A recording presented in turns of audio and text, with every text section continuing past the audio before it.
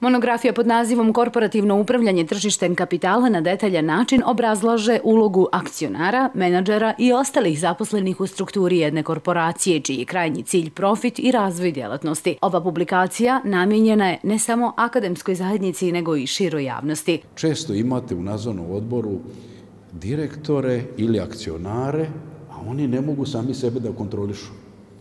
I tu, je, tu nastaje veliki problemi. Posebno pitanje koje je interesantno, to je da nema dovoljno edukacije, znači nema obuke.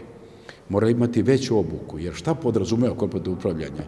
Podrazumeva transparentnost informacija, e, zatim sveobuhvatnost informacija, javnost informacija, finanski izveštaja koji se donose na e, donošenja odluka na pravi način, zanemerivanja ličnih interesa, E, e, e, poštovanja zakonske regulative koja kod nas na ovim prostorima još uvijek nije rešena, ne samo u Srbiji, Bosni i Hercegovini, nego u ovim svim zemljama koje tek sad ulaze u taj deo, tako da se meša rukovodđenje i upravljanje što nije dobro. I to je bio neki, ajde da kažem, motiv u čega sam ja opredelio se da u prvom delu opišem to, po principima OECD-a. U drugom dijelu monografije govori se o tome kako radi tržište kapitala kod nas i u Evropi, a posljednji dio odnosi se na hartije od vrijednosti sa kojima se trguje na finansijskoj berzi. I obradio sam još jednu ja problematiku šta je dobar menadžer, a šta je loš menadžer. I namjerno sam to stavio da bi svako mogao kad pročita sebe da prepozna. Jel?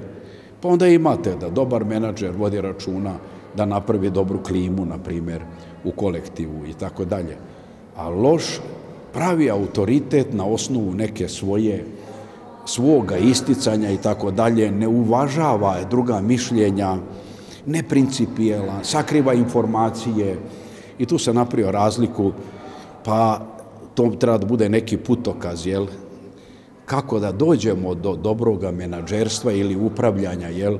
Jer svako se zove menadžerom. Pitanje je da li je menadžer ili nije. Na kraju knjige nalazi se riječnik u okviru kog je objašnjeno značenje 160 ključnih riječi. Osim studentima, knjiga je namjenjena stručnoj javnosti kao i svim ljudima iz prakse kako bi osvježili i usavršili sobstveno znanje.